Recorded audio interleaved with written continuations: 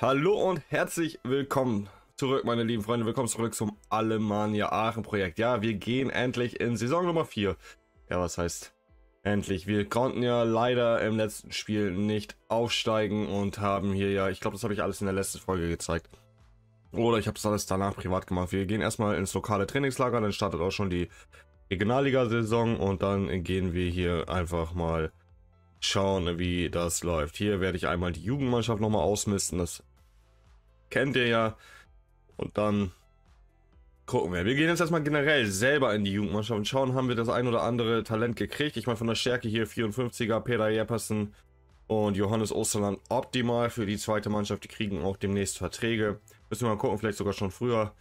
Dann haben wir so Talente. Sieht eigentlich schon ziemlich gut aus. Zweite Mannschaft sieht auch stark aus. Da haben wir Eti Atic, und Niake, die können sich auch wahrscheinlich noch hocharbeiten. Da werde ich auch demnächst mal die Trainingsziele einstellen. Die zweite Mannschaft sieht wie folgt aus. Da fehlen auf jeden Fall noch ein paar Spieler, aber die haben mit Benjamin Herd haben sie ein einigermaßen ordentliches deutsches Talent für den Sturm. Dann haben wir ja Kilian Stoffer, Bayric, Markus Müllers, Blasanovic. Wir haben Morea mit den luxemburgischen Keeper. Kann man eventuell auch noch irgendwann mal aufbauen. Grünewald hier für die Rechtsverteidigung 59er Stärke. Sieht schon mal sehr, sehr nice aus. Aber wenn ich für Herd eventuell eine Leihstation finde, werde ich das machen. Und für Markus Möller. Kilian Stoffers ist leider, ja, das wird leider nichts, denke ich mir. Da habe ich zu früh gehandelt mit dem jungen Mann. Oder ich finde wirklich eine Station, wo er spielen kann, aber das ist eher unwahrscheinlich. Aber Möllers mit der 50, da kann ich ruhig mit leben. Grünewald und Herd denke ich schon, dass das was werden könnte. Wir müssen jetzt selber aber erstmal in unsere erste Mannschaft gucken, wenn man sich die Position anguckt. Wir haben einen Keeper, wir brauchen noch eine Nummer 2. Weil, ja, unser anderer ist ja weg. Wir haben einen Linksverteidiger, da brauchen wir Nummer 2. Rechtsverteidiger geht auch noch klar, da haben wir Großkreuz noch auf der Bank. Innenverteidiger brauchen wir eventuell auch noch eine Verstärkung. Wir haben jetzt Orte gekriegt, das kennen wir. Defensives Mittelfeld haben wir Wagner, da brauchen wir auch noch ein Backup. Für Ichinchi brauchen wir noch ein Backup. Dann haben wir rechts außen Usitalo und Bierschenk. Da wollte ich Usitalo ja verleihen und mir für rechts außen was holen. Headwear ist Backup für alles gefühlt. Dann haben wir links außen Mengo und Jorgensen. Da wollte ich Jorgensen verleihen und vielleicht was äh, Richtiges äh, holen für Mengo. Obwohl Mengo ziemlich stark ist. Vielleicht bleiben wir auch dabei. Und im Sturm sind wir halt gut aufgestellt mit Slavinski und Klarnak. Headwear ist ja mehr das Backup für Mireles. Aber wir müssen erstmal gucken, was wir kriegen können. Ich habe hier erstmal ein bisschen verschoben. Die Finanzen, sonstiges haben wir 4 Millionen, Baukosten können wir gar nichts machen. 5,7 Millionen haben wir. Wir haben nicht viel Gehalt und wir haben eigentlich gar nichts. Deswegen schauen wir jetzt erstmal direkt rein in die Kooperationsverträge, wen wir da so haben. Wir hatten hier einen 65er mit Kiel-Werten. 45.000 würde er Gehalt kriegen, das wäre natürlich auch schon optimal. Und da hätten wir hier noch äh, links außen Mizan. 105.000 Gehalt. Können die mit leben. Den spielen lassen und Mengo immer wieder rankommen lassen. Dann hätten wir unseren links außen optimal eingesetzt. Leihanfrage. Ja, Gut. Und jetzt bei Dortmund. Da haben wir auch noch Güpütz. Deutsch-Türke, 55.000 Gehalt. Und bei dir, bei dir. Will ich erstmal, den will ich erstmal fertig scouten. Damit ich weiß, äh, wie sie sind. So, du kannst das scouten. Und ich glaube, ich lasse äh, Kirchhoff jetzt auch das scouten, weil wir können keine Türken verpflichten, solange wir nicht in der ersten Liga sind. Das ist das Problem. So will ich das machen. Dann gehen wir nochmal in die erste Mannschaft. Natürlich. Wir wollen ja dann dadurch Jürgensen die Möglichkeit geben, Transferstatus zur Laie. Und dann suchen wir ihn einen gescheiten Club aus, aus der Oberliga. Gehen wir Oberliga Niedersachsen, Eintracht Zelle.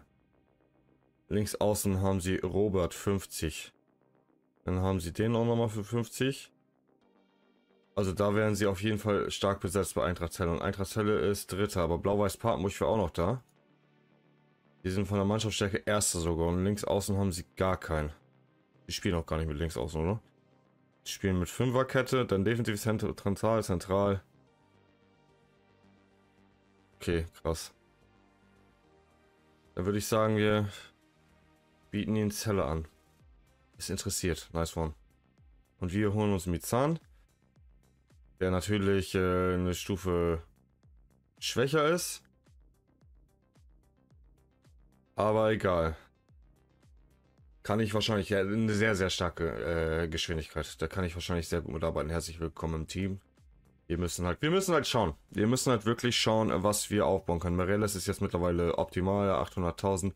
Was ist mit dir? Willst du jetzt deinen Vertrag verlängern oder nicht? Ja, er würde verlängern. Perfekt. Du wirst in der Regel spielen. Fünf Jahre. Na?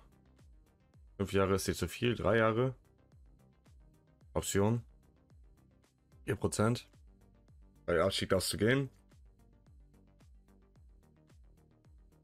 Naja, du bist. Du bist. Stammspieler. Aber ich kann es dir halt nicht verspre versprechen, dass du es bleibst, ne? Wir geben dir nochmal ein bisschen Handgeld, sagen wir mal so.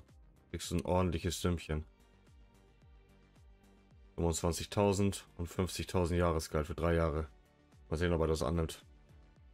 Seine Moral ist unglücklich. Warum? Ich habe keine Ahnung. Old Shawl ist noch verlängert. Was, wie sieht es eigentlich aus? Verträge diese Saison, was läuft aus? Ichinchi läuft aus, Mizan läuft aus, ja, Headwear und so, das brauche ich jetzt aktuell nicht verlängern. Klarnack vielleicht, müssen wir schauen. Weil er noch jung ist, da kann man gucken, ob man den vielleicht in der zweiten Mannschaft dann einsetzt. Von der Stärke, wenn wir aufsteigen sollten, oder er setzt sich halt dieses Jahr gegen Slawinski durch. Headwear auch eventuell, Ichinchi müssen wir gucken, wenn ich nicht was Besseres finde. Dann gehen wir mal in den Transfermarkt. Wir haben hier Orjan. 20-jährigen Franzosen, 1,68 Meter groß. Hast du vergessen für diese Position. Kannst du vergessen. Dann haben wir noch Pandor, 1,92 Meter. Torhüter, Grundstärke 65. 24 Jahre alt. Hollersbeck, Olympique Lyon. Ist ja auch noch die pure Erfahrung, ne? Aber wir wollen, äh, wir gehen erstmal Blickfeld. Ist hier Blickfeld irgendwas ohne Verein jetzt geworden? Wir haben Golding verhandelt. Oh, mit dem verhandeln wir sogar schon. Interessant. Lukas Roman hätten wir da auch noch stehen.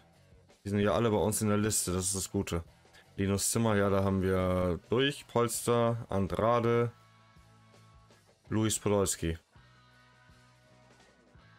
1,80 Meter. Rechtsverteidiger, linker Verteidiger.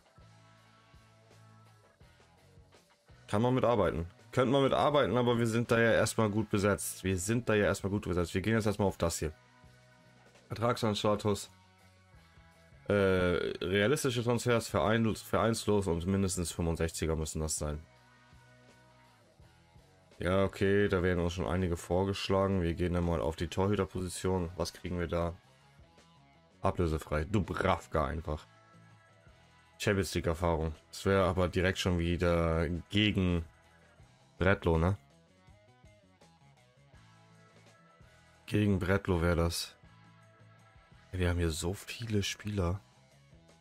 Ich gehe mal wieder scouten. Ich scoute sie einfach mal.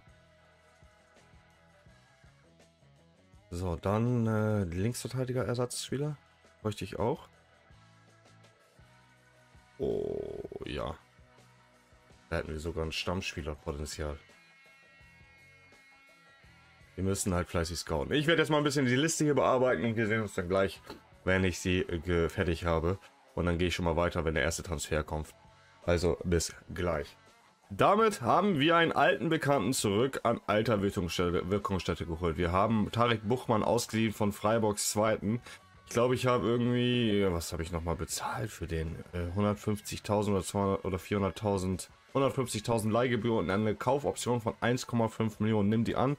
Und das habe ich jetzt nur gemacht, weil Dings da weg will. Weiß gerade gar nicht, wo der ist. Wo ist er? Habe ich den in die zweite Mannschaft gesteckt? David Lell will weg. Weißt du, warum habe ich den in die zweite Mannschaft gesteckt? Der äh, wird nicht verlängern. Er hat mein Vertragsangebot für die Verlängerung abge abgelehnt und deswegen habe ich jetzt Buchmann wieder hergeholt, um unsere Mannschaft um einiges verstellen. Möllers habe ich jetzt erstmal reingemacht. Eventuell gehen wir mit Ilchinchi und Möllers in die Saison und versuchen Möllers aufzubauen. könnte ich mir auf jeden Fall vorstellen. Er steht auch jetzt direkt unter Vertrag. Da kann ich auch mal direkt sagen, herzlich willkommen im Team. Also die Kader äh, die Kaderplanung gehen schleppend voran. Ne? Wir haben immer noch keinen Ersatzkeeper. Ist momentan nicht in Form.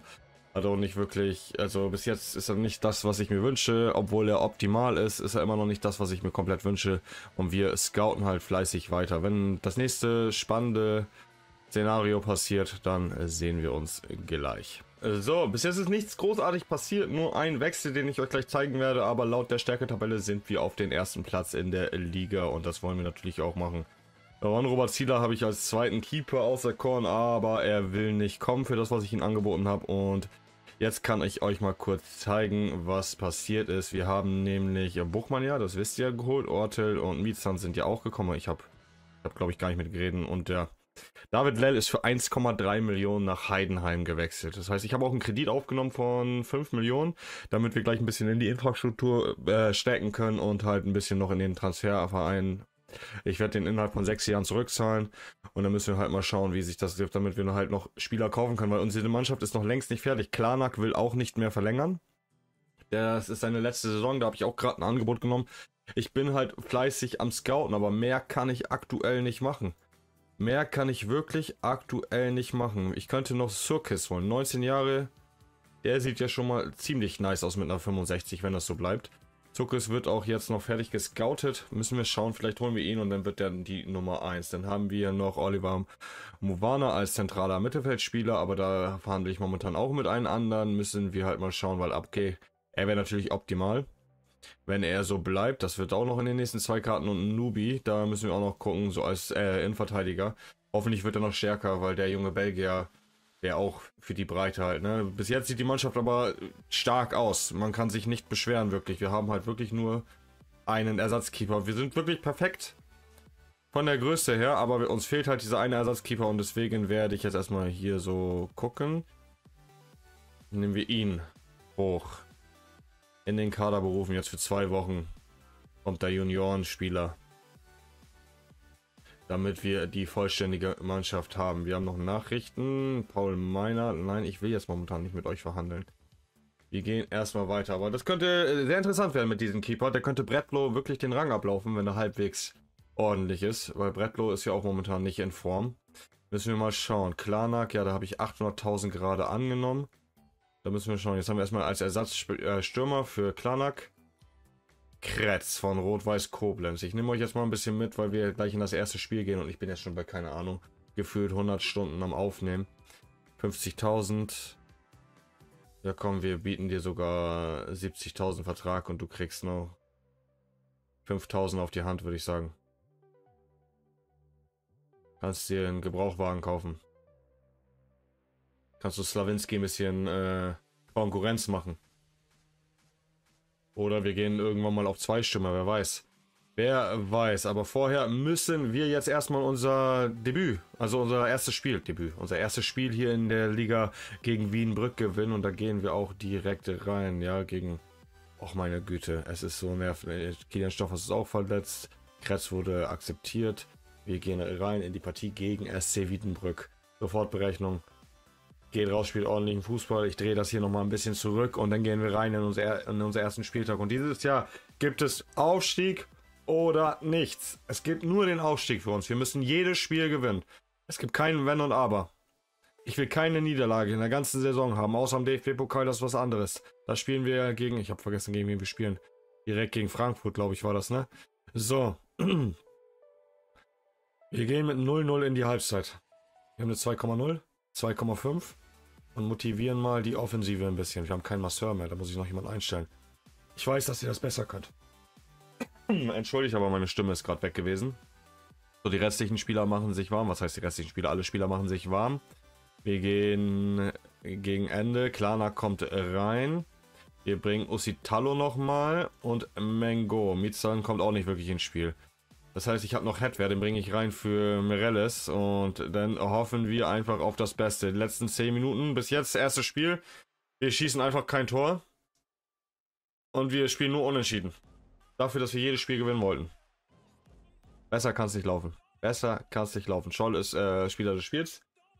Und wir landen auf den neunten Tabellenplatz, da Baumberg 0-0 gegen Sprockhövel spielt, Gladbach 5-1 gegen Bövinghausen. Ach, Gladbach 2, das wird unser Problem dieses Jahr, denke ich.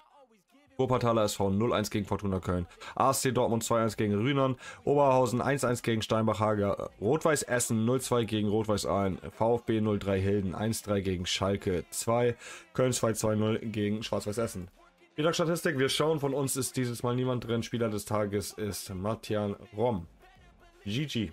Damit haben wir unseren Klarmark-Ersatz, der ja auch gerade sogar noch gewechselt ist nach Dalian Professionell für 800.000 und wir haben dann für 550.000 unseren Ersatz geholt bis 2030, 5 Jahresvertrag. Niklas Gretz. Wird natürlich auf der Website vorgestellt. Ja, wir nehmen diese Angebote an. Und wir reden erstmal hier mit dem jungen Mann. Herzlich willkommen im Team. Ich hoffe, du bist hier glücklich und schauen wir mal, wie er einstellt. Ich habe das Herd erstmal hochgeholt, kurz die, unseren jungen Stürmer da von der zweiten. Er soll dieses Jahr noch in der zweiten spielen und nächst gucken, ob wir den zwischendurch mal hochziehen und dann einfach mal gucken. Und Kretz, 1,85 Meter groß, 19 Jahre, könnte wirklich so ein ganz klein bisschen Slawinski sogar rein theoretisch den Rang ablaufen, wenn Slawinski nicht in Form ist. Er hat momentan eine 8, hat eine Grundstärke von 64. Müssen wir mal schauen, wer gegen Schalke 2 spielt. So, weiter geht's dann mit den Scout-Berichten und was sonst noch alles auf uns zukommt. Nubia 62er. Wir brauchen noch so einen, ich glaube ehrlich, wenn ich ehrlich bin, wir brauchen noch so einen richtig, richtigen Banger hierfür. Ich meine, Wagner ist okay. Da kann man auch vielleicht nochmal gucken. Bierschenk, ja, rechts außen auch nochmal was. Wir müssen halt wirklich, es ist halt schwierig. Es ist halt wirklich schwierig, hier was Gescheites zu finden. Weil ja, wie soll ich sagen? Janek Pandor, 1,92 Meter. Grundstärke von 75, äh 65. Wäre natürlich optimal. Würde Dubravka den Rang ablaufen, aber es... Entschuldigt, es werden halt noch weiter Leute gescoutet, ne? Das ist das Ding. Es werden halt weiter Leute gescoutet und wir müssen halt wirklich gucken, dass wir das äh, Richtige kriegen für das, was wir, für das Geld, was wir haben. Wir brauchen auch noch einen äh, Sechser. Wenn ich da noch was Gutes kriege, muss ich schauen. Wir haben ja Gialoglu. Oh, ich habe den Namen, ich kann den Namen gar nicht richtig aussprechen, deswegen ich lasse es lieber, bevor ich jemanden verletze. Dann Zidoshuk, ja, das sind aber so ältere. Ich will lieber auf was Jüngeres setzen können. So, was ist denn das Jüngste? Was uns angeboten wird. Hier, Bernasconi von... Ne, was ist voll gescoutet? Wir haben nichts voll gescoutetes. Ich gehe mal auf Bekanntheit 10. Und dann alle. 70er und alle. Wir haben nichts fertig gescoutet. 66er. Da haben wir ein paar. Da haben wir ein paar. Und das jüngste hier ist ein Noah Soko von Bövinghausen. Und mit denen verhandle ich gerade nicht. Ich verhandle gerade mit jemand anderen. Dann haben wir noch hier Lubik von Augsburg wäre natürlich auch nochmal was. Da haben wir Bas von Rot-Weiß Aalen. Warte. Können wir nicht auf äh, Dingsterbumster gehen? Wie hieß er nochmal? Okay, Lokomotive Leipzig, Isa Dokan. Ist auch nicht schlecht. Wir gehen mal positionsmäßig. Torhüter. Verhandle ich momentan einen Torhüter? Ich weiß es gar nicht mehr. Grünewald, nein. Wir haben aktuell unseren zweiten. Ich glaube, wir gehen mit dem jungen Polen. Der steht bei uns schon lange auf der Liste. Ist 1,90 Meter groß. Schnelligkeit 84 und das liebe ich. Und ich schätze mal, wir kriegen ihn für gutes Geld. Aber wir können das auch anders machen. Er hat einen Marktwert von 330.000. Er kann nur kaufen, weil sein Vertrag ausläuft nach dieser Saison. Aber die wollen, Alter, die wollen Cash haben. Wollt ihr mich verarschen? Ich muss da mindestens 1,4 Millionen für hinblättern. Ihr könnt mich kreuzweise. Ehrlich jetzt, ohne Scheiß. Ihr könnt mich kreuzweise. Damit haben wir unseren zentralen Mittelfeldspieler kurz vor dem Gelsenkirchen-Spiel gegen den Schal gegen Schalke 2. Wir spielen in Gelsenkirchen, ne? Ja, meine ich doch. Kurz vor dem Spiel in Gelsenkirchen gegen Schalke 2 äh, kommt Maxim Artemjev für 550.000 zu uns. Rücken Nummer 17 akzeptieren. Website wird äh, vorgeschlagen. Oh, 16 Jahre 79, 69, 39, 69. Nein, brauchen wir nicht. Ja. Komm, wir müssen nicht alles verkaufen. Erstmal hier. Herzlich willkommen im Team. Wirst du glücklich, ist aber auch direkt verletzt, der Spieler. Noch besseres Leben. Hat eine Grundstärke von 62 und wird Ishinshu wahrscheinlich früh äh, den Rang ablaufen da. Müssen wir mal schauen, wie sich das hier alles entwickelt. Wir gehen erstmal weiter, vielleicht kommt noch was. Ich habe ein paar Verträge, ein paar Angebote gemacht, damit wir einfach den Kader voll kriegen, aber halt noch nicht dumme. Wir wollen aggressiv gehen. Wir hatten mit der Mengo verlängert um zwei Jahre, das finde ich sehr gut. Er fragt, ob der Sturm für ausreichend ist. Äh, neutral. Das mit den Aufstieg klappt, Zustimmung, da werde ich alles für geben. Die Mannschaft ist total überleitert. Ablehnung. Gutes, guter Tag. So. Ich hoffe, dass hier jetzt vor Schalke nochmal einer kommt. Müssen wir schauen. Oder halt wenigstens dieser hässliche Rechtsverteidiger weggeht endlich. Das wäre so wichtig für mich, dass dieser Sack weggeht. So, aber irgendjemand hat noch ein Vertragangebot angenommen. Luca Griebisch als 62er offensiver Mittelfeldspieler, kann zentrales Mittelfeld spielen, kann links außen spielen, kann rechts außen spielen, ist ein wirklich ein Allrounder. Der kam von Wolfsburg, glaube ich, ne, wenn ich das äh, richtig im Kopf habe. Kann ich ja gucken. Wir mussten ja bestimmt eine Ausbildungsentschädigung bezahlen. Ausbildungsentschädigung an Werder Bremen, da kam er. Lukas Griebisch kann uns vielleicht auch noch mal in der Breite weiterhelfen. Also es geht äh, weiter. Hedwer kommt damit auf die Bank. Dann haben wir Herz als Ersatzstürmer für Kretz. Kretz darf auch starten gegen Schalke. Dann haben wir Griebisch, der für Mereles und Uchinshu reinkommen kann. Äh, ja, Artemiev ist halt Wechselspieler. Und Hedwer kann dann auch, dann, so langsam aber sicher wird die Breite. Das einzige Problem, was wir halt noch haben, ist die Keeper-Position. Er will nicht wirklich sich entwickeln. Er ist zwar natürlich optimal, finde ich immer noch optimal, den Keeper. Aber wenn wir was Gescheites kriegen, dann müssen wir das Gescheite auch holen. Dann müssen wir das Gescheite auch holen. Yannick Pandor, ja, wir verhandeln mit wem? Ich habe schon wieder vergessen, mit wem wir alles verhandeln. Ja, mit Nubi und äh, Movana nochmal für die Breite, zentrales Mittelfeld. Aber da kann ich rausgehen, Angebot zurückziehen. Da haben wir jetzt unseren Spieler gekriegt. Ich dachte, der kommt nicht. Da müssen wir mal gucken. So, was mit Scout-Berichten? Ist noch ein neuer Keeper gescoutet worden. Max Weiß scouten sie aktuell. Kevin Keben, Innenverteidiger. Spielt da, hat eine Grundstärke. Ne, ist noch nicht voll gescoutet. Aber Trubulus ist gescoutet. 21, Grundstärke 60. Wir kriegen halt nicht das, was wir brauchen. Wir kriegen halt nicht wirklich das, was wir brauchen. Das ist das Problem. Wir haben hier nochmal Robin Krause, dann Goralski, Demming, Marlon Frey. Ja, für zentrales Mittelfeld brauche ich jetzt erstmal nicht rechts außen. Wäre mir auch nochmal lieber was äh, Gescheites zu holen. Aber wir kriegen halt nichts, das ist das Ding. Ich könnte nur bei Dortmund nachgucken. Ich könnte auch mal gucken hier. Erste Liga zweite Mannschaften. Vielleicht ist da noch der ein oder andere, wo wir sagen können, okay, nice, da kann man vielleicht reingehen. Justin Deal. Kaufangebot? Möchte nicht zu uns wechseln. So.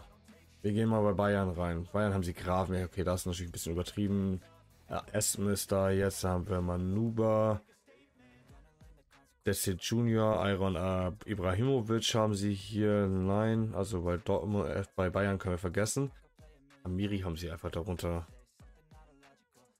Haben sie einfach so krass degradiert. Und wahrscheinlich, weil er verletzt war, ne? Mitchell Bakker auch. Nur Pesch. Da haben sie nichts. Äh, bei Linksabos. Jetzt haben wir jetzt hier die zweite Mannschaft von Dortmund. Da haben wir Prinz natürlich Prinz Anning. Wäre natürlich optimal für die Linksverteidigung, aber Kaufangebot. Hält er nicht uns für er hält uns nicht für attraktiv genug. So. Jaden Brav. Kaufangebot. Weist er zurück. Ich nehme nicht mal. Ah, ich hab dich, hab dich im Blickfeld gehabt. Hab dich im Blickfeld gehabt. So. Dann haben wir Paris Brunner, ja. Joe Campbell. Auch nicht. Bei den Leipzigern haben die da noch was. Hartmann. Dörr auch nicht wirklich. Wolfsburg, habt ihr noch irgendwie was, wo ich sagen muss, okay, da schlage ich lieber nochmal zu? Tiano Diallo. Nehmen wir mal wieder scouten. Nehmen wir mal mit. Dann Freiburg. Ist auch nicht wirklich was. So, doch hier. Röhl. 390.000.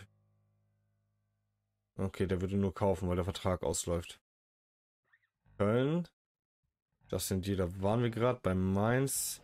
Nico Preuß, Gruda. Bei Hertha haben wir einen Zona. Aber das sind auch alles nur so Dinger, wo man vielleicht das Richtige holt. So, hier haben wir nochmal Henrik Schall. Aufangebot. Könnte sich sogar ein Wechsel zu uns vorstellen. Ah, okay, aber da müsste ich wieder zu tief in die Tasche greifen für. Da müsste ich viel zu tief in die Tasche greifen. Ja, da ist auch nichts wirklich dabei. Bei Augsburg vielleicht. Kicke Top hier. Okay, sieht nur schon mal nice aus. Lasse Günther. Will er, wollen die nicht an uns verleihen. Schade. Er ist 28, das ist zu alt für eine Laie, finde ich persönlich. Außer ich würde ihn kaufen wollen, dann kann man drüber nachdenken. Bei Gladbach ist auch nichts wirklich. Bei Union auch nicht. Bei Hannover vielleicht. Justin Butler.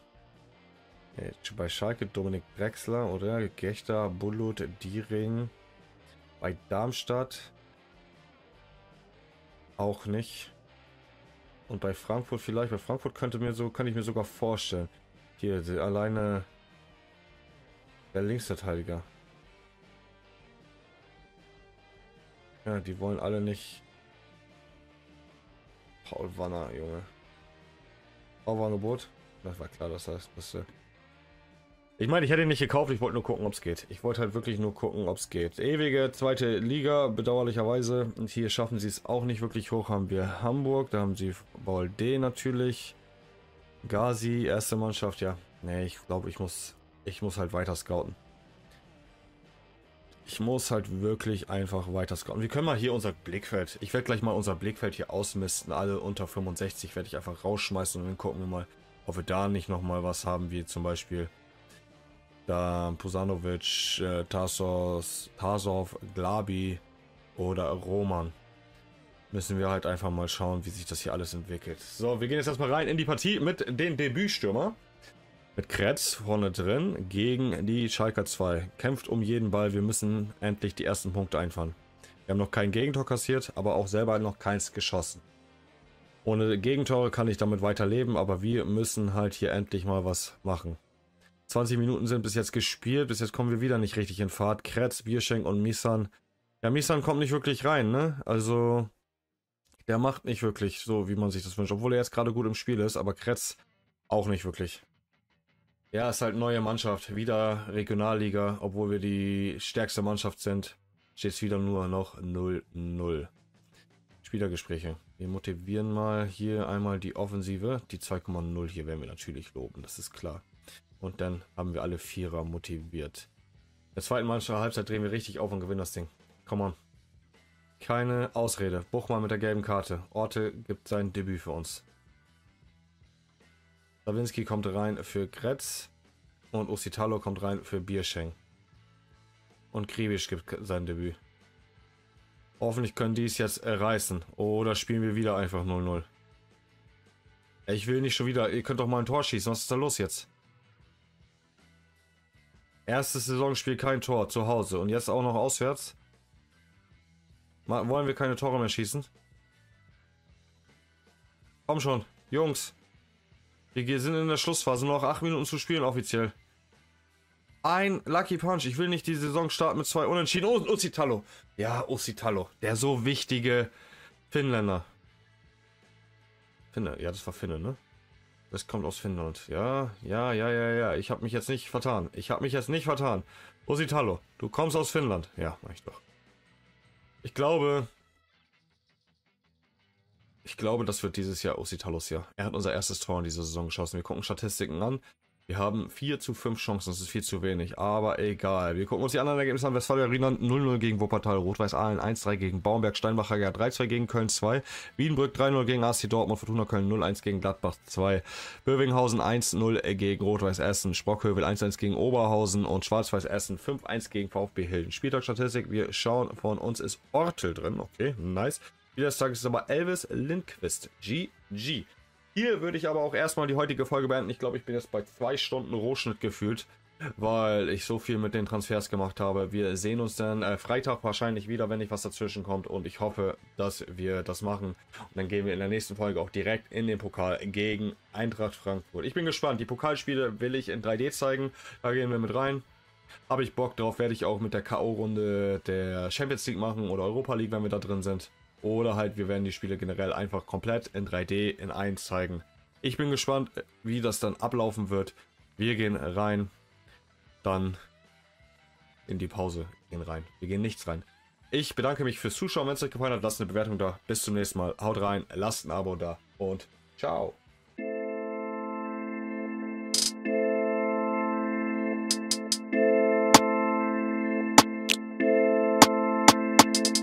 Ich weiß, dass wissen, ja, ich habe keine Zeit. Mache immer weiter, denn ich fühle diesen Vibe. Viele wollen connecten, weil sie wissen, wer ich bin. Aber ich hab kein Interesse, weil ich nicht weiß, wer sie sind. Aber lass